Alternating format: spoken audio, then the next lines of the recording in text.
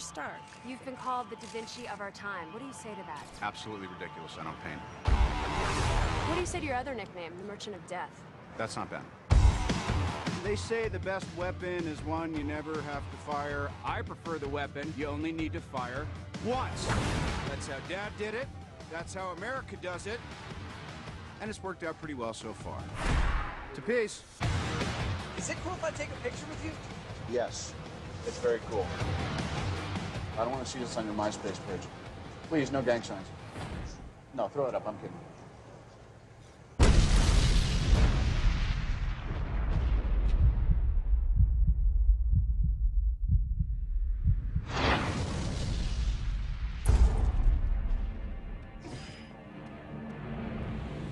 You have till tomorrow to assemble my missile. I should be dead already. Unless it was for a reason. I just finally know what I have to do. That doesn't look like a missile. What are you building, Stark? I'm working on something big.